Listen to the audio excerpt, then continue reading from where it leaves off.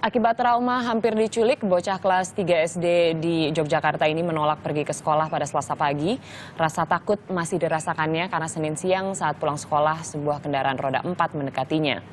Dengan cepat orang yang berada di dalam mobil langsung menarik tangan korban. Ia bisa lepas karena menggigit tangan pelaku dan kejadian ini berlangsung di jalanan perumahan Surya Asri yang sepi di siang hari.